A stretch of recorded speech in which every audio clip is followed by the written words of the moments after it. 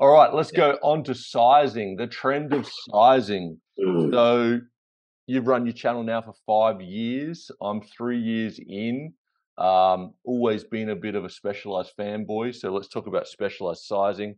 So my first enduro mountain bike was an Enduro 2015 29er, and that had a reach of 440 millimeters. And now my cut, and that was a large. And now my current equivalent large Kenevo SL is well, it's an S4, which is pretty much a large, is 485 millimeters, I believe. Now, I don't think I've got any taller in the last five years, but do you think we're riding too big of bikes now? Do you think that's a trend? um, I do think it's a trend, and uh, and, and that doesn't mean that's bad trend. Personally, I think we are on the end of this the uh, the swing here of the pendulum, and it's going to come back. Um, I think it's crazy to me that you know I'm five eleven, uh, so you'll have to convert that five eleven would be like my size, pretty much. So you'd be like 182 centimeters, 183 centimeters, somewhere around that. Okay, yeah. The fact that I think that I am now looking at riding lots of size medium bikes is kind of crazy. Um, so, what would be your preferred reach? So, for e-bikes, yep. my preferred reach um, is 475 to 480. Um, I'm I'm happy with that. Uh, 485 is pushing it, but I'm I can make that work. Uh, on a on a non e-bike, 485 is is a sweet spot for me. Um, Maybe going to 490. But I think with an e-bike, I want a little shorter reach because the bike's weight inherently makes them more stable. Yeah. Um, so I can get away with having a shorter bike and keeping that stability, but the shorter front end also makes it easier to manual and corner the bike and have more power over it than if it's too long. You know, the the, the center of gravity changes, the wheel, everything gets longer. And if you've got a really heavy bike, I would rather have it be shorter so I can keep that playfulness because I like a really playful bike. Yeah. No, I've uh I'm just home now for a couple of months and my mate's my size and he just and he's a very good rider. Julian, shout out, mate. Uh, he's getting old now, old man. Um, and he just sized down, uh, and he just sized down to a medium Trek Rail, and uh, he's always a large, and he just sized down, and he was like, "Man, 29ers front and back, you do not want a super long bike." And uh, not if you want, not if you're a good rider. And this is the thing, like a good rider or a capable rider will start to understand where they're at. And I people always, and you get it as well. Well, what size should I get? And this is a big deal for a lot of people because you know we are lucky that we get to ride these bikes, and you know uh, a lot of the time we don't pay for them. They get sent to us. We send them back. All that stuff. There's not oh it's not a lot of thought that goes into sizing for me. I say, oh, give me a large, or I'll look at the geometry. Oh, I'll try medium on that one. But we're not, you know, slash, splashing down 12 grand and then making a mistake. Right. So, you know, and, and, and people like, so if you don't know what size you are and you're not that confident, just go off the size calculator. Like the guys, the, the, the engineers know what they're talking about.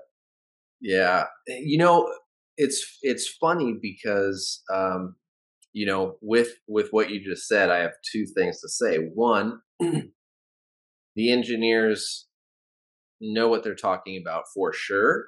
However, they have their own style of riding and they also ride and develop the bikes for largely their local terrain, right? True. Yeah, true.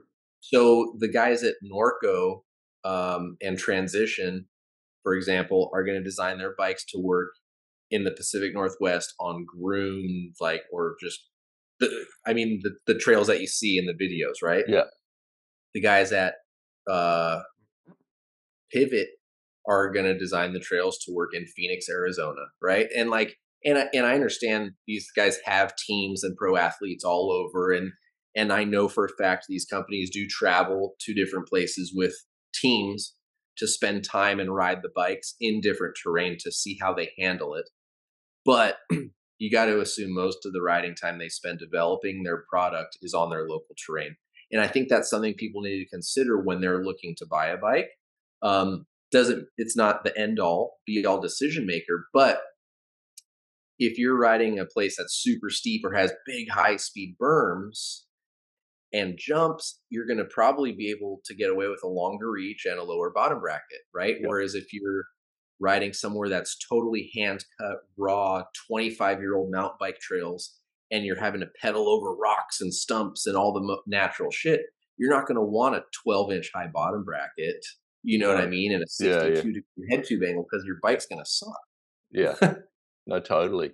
Um, now that comes into uh, it's not even a question, but I just sort of a segue into a question. What do you reckon is this um, the all the adjustable geometry? Is this just another sales pitch? Is this a trend, or do you actually use it?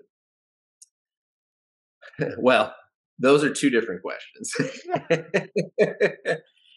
um, I I do not think they're a sales pitch. Um, I think they're absolutely useful, and I really like when companies do them well. Do I use it? Not all the time, or not very much at all. But it depends on the brand's execution, right? Uh, Specialized is a prime example. I know you brought them up already because you're a fanboy, and I'm uh, I like their bikes a lot as well. The new Levo has got you know it comes in the nominal position. Then you've got the headset cut plus or minus. Then you've got, you know, the rear end that you can do high low. I think that is awesome because the Levo is such a good bike. Um, however, what someone in Bellingham or Squamish might want to set their bike up in could be totally different than how someone wants to ride it in like New Jersey, right? So the fact that someone can have that same bike, the same suspension platform, the same motor, however, they can have a full, you know, range of geometry adjustability to give them bottom bracket clearance or a head tube angle that better suits them is awesome. Yeah, totally. I think they I think they nailed it.